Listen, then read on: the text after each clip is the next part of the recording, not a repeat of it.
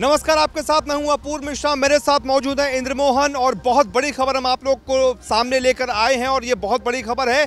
मध्य प्रदेश का जो सियासी नाटक इतने दिनों से चल रहा है ना सरकार का, वो कल शाम को पाँच बजे पूरी तरीके से खत्म हो जाएगा और कल शाम को पाँच बजे पता चल जाएगा कि मध्य प्रदेश में कमलनाथ सरकार बचेगी या फिर कमल की सरकार बनेगी। इंद्रमोहन है मेरे साथ। क्या खबर है इंद्रमोहन बिल्कुल, इस वक्त की बड़ी खबर यही है कि सुप्रीम कोर्ट ने यह फैसला किया है कि कल शाम को पाँच बजे फ्लोर टेस्ट होने वाला है। कल मध्य प्रदेश के विधानसभा सत्र को बुलाने का आदेश दिया गया है।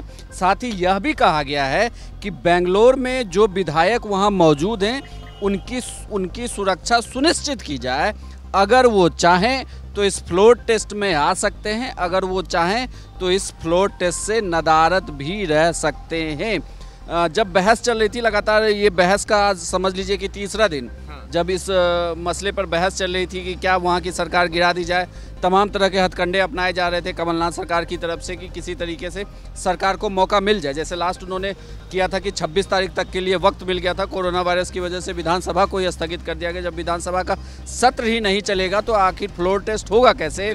लेकिन शिवराज सिंह चौहान ने एक पिटीशन डाल दी थी। उस पिटीशन पर जब सुनवाई चल रही थी तो फाइनली अब यह फैसला सुना दिया गया है कि कल शाम को पाँच बजे कमलनाथ सरकार का फ्लोर टेस्ट होने वाला है और इस फ्लोर टेस्ट में यह तय हो जाएगा कि उनकी सरकार मध्य प्रदेश में रहेगी या एक बार फिर से वहाँ पर बीजेपी की सरकार बनने वाली है। जो मौजूदा समीकरण दिख रहे हैं, अगर आप जैसे कह रहे हैं कि विधायक जो बेंगलोर में मौजूद हैं, अगर वो आ पाते हैं तो ठीक अगर वो नहीं आ पाते हैं तो कैसे फ्लो टेस्ट में क्या समीकरण बनेंगे? अगर अगर वो नहीं आ पाते हैं तो उन्हें एबसेंट मान लिया जाएगा तो उसमें भी कमलनाथ की सरकार गिरती है। अगर वो आते हैं और क्रॉस वोटिंग कर लेते हैं तो भी सरकार गिरती है। खतरा बहुत बड़ा मंडरा रहा है। अब बकरे की माँ कब तक बिल्कुल ये बिल्कुल तय है कि कमलनाथ की सरकार नहीं बच सकती अब मध्य प्रदेश में क्योंकि फ्लोर टेस्ट से पहले अभी जो नंबर्स हैं अगर आप उस नंबर्स की भी बात करें तो 230 टोटल नंबर है जिसमें से दो सदस्य की मौत हो गई। तो इस नंबर को आप रखें 228 228 में 115 का इनको बहुमत साबित करना है। अभी इनके पास आ, अगर आप माने तो 200 विधायकों की प्रभावी संख्या 222 है क्योंकि छः का इस्तीफा भी हो गया है। छः का इस्तीफा मान गया तो 222 में से इनको नंबर चाहिए 112 इस 112 में अभी सदन में इनके पास जो सात अन्य जीते हुए थे उसमें बीएसपी के दो विधायक हाँ। एसपी का एक और चार निर्दलीय हैं जिन्होंने कमलनाथ सरकार को समर्थन किया था। लेकिन अभी बीजेपी की जो नंबर है वो ऑलरेडी 107 है। सात है। तो ऐसे में अगर ये विधायक एबसेंट हो जाते हैं तो इनकी नंबर घट के हो जाती है सिर्फ़ बिरानवे।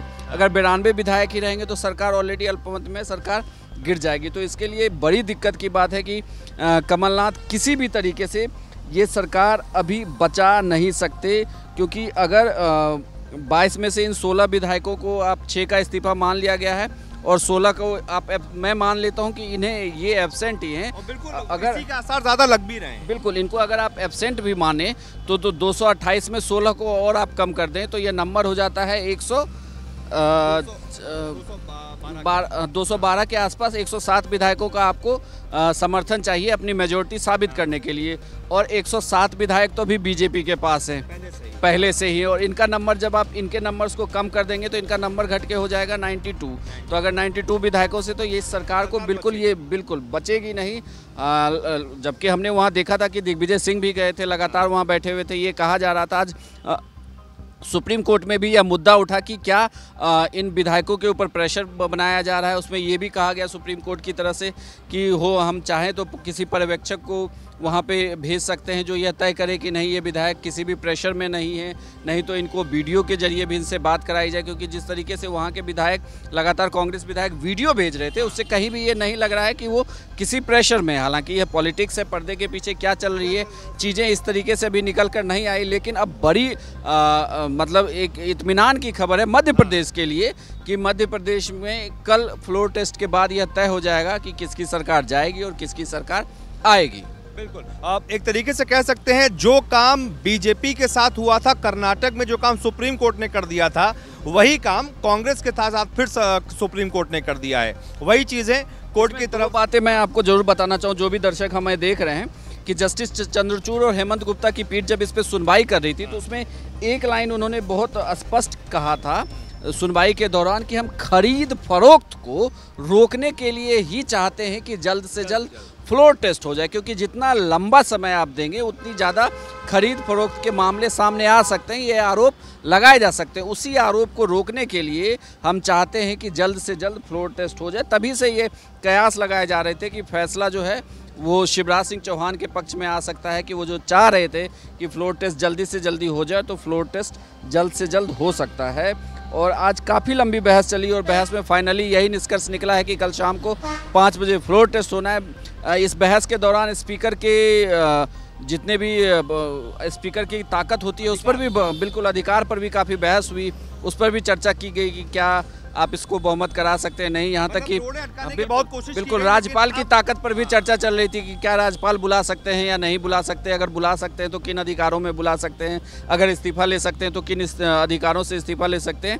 इन तमाम बहसों के बीच लेकिन जो एक लाइन थी जो मैंने आपको कहा कि इस बेंच ने यही कहा कि आप जल्द से जल्द जो है फ्लोर टेस्ट करा लें क्योंकि हमें लगता है कि जितना आप लेट करेंगे उससे ज़्यादा खरीद बिक्री पर विधायकों की खरीद बिक्री की खबर बिल्कुल बिल्कुल। तो बिल्कुल तो इससे बचने के लिए उनका ये कहना था कि आप जल्द से जल्द फ्लोर टेस्ट करा लें और कल शाम को जब फ्लोर टेस्ट होगा तो दूध का दूध और पानी का पानी हो जाएगा कि मध्य प्रदेश में कौन सी सरकार फ़िलहाल बहुमत में है।